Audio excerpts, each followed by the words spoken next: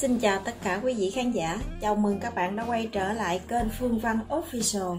Mến chúc tất cả quý vị khán giả một ngày mới tràn đầy yêu thương.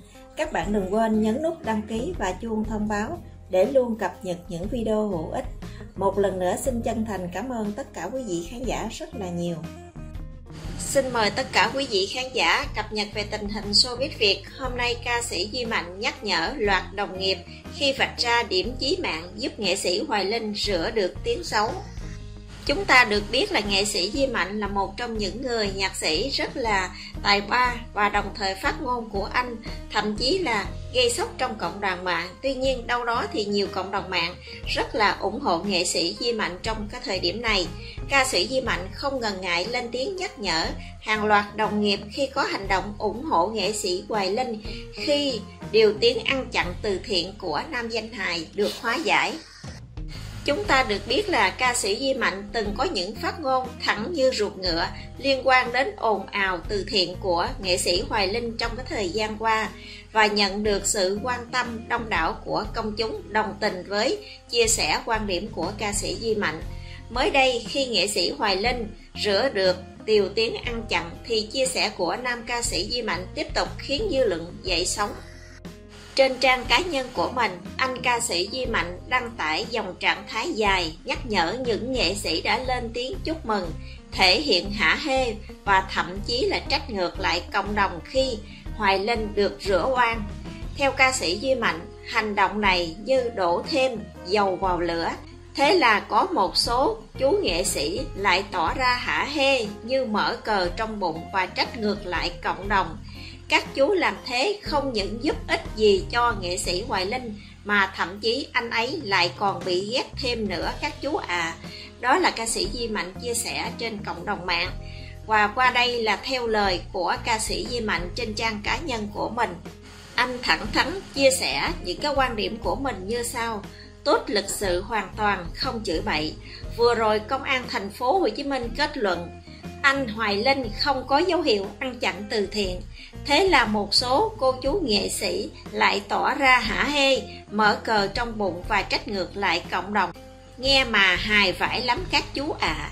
Các chú làm thế không những không giúp ích gì cho nghệ sĩ Hoài Linh mà thậm chí anh ấy lại còn bị ghét thêm nữa các chú ạ. À.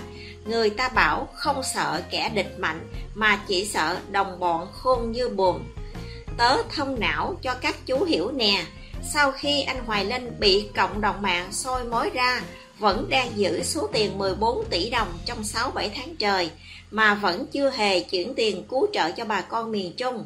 Thế là các anh ý bị cộng đồng mạng chửi rủa.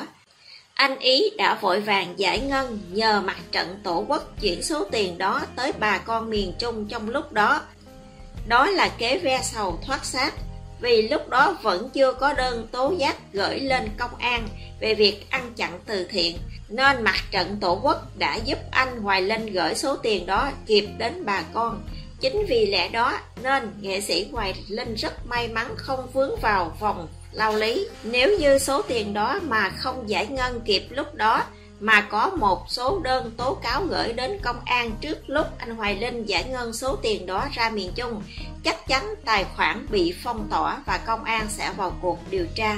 Lúc đó chắc chắn anh Hoài Linh sẽ dướng vào pháp luật. Nhưng rất may là những đơn tố cáo đó đã gửi đến công an sau khi anh Hoài Linh đã nhờ mặt trận tổ quốc gửi hết số tiền đó đến bà con miền Trung rồi.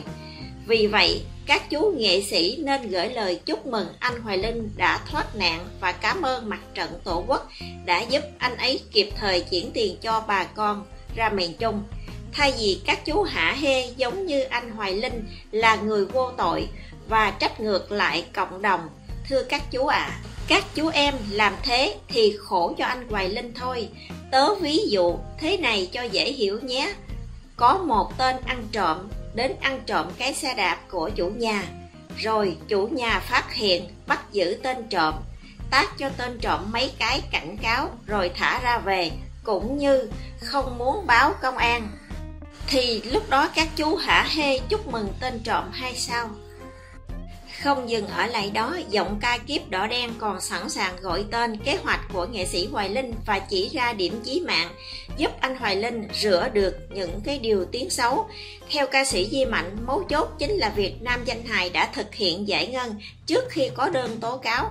Hành động này là ve sầu thoát xác và nếu như trong cái thời điểm đó mà không kịp giải ngân mà có cái đơn tố cáo trước đó thì chắc chắn nghệ sĩ Hoài Linh sẽ được à, công an vào cuộc điều tra cái số tiền đó và anh Duy Mạnh cũng phân tích chia sẻ lúc đó chắc chắn nghệ sĩ Hoài Linh sẽ vướng vào pháp luật qua lời lẽ trong dòng trạng thái này, ca sĩ Di Mạnh không chỉ mỉa mai anh Hoài Linh mà còn nhắc nhở những người bên vực nam danh hài là chưa thông suốt, chưa thấu đáo.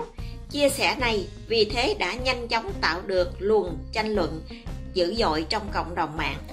Và đa số là ủng hộ theo ca sĩ Di Mạnh phân tích, sau một thời gian danh hài Hoài Linh bị một số cá nhân gửi đơn kiện tố cáo, khuất tất trong việc hoạt động từ thiện, từ kêu gọi 13 tỷ đồng.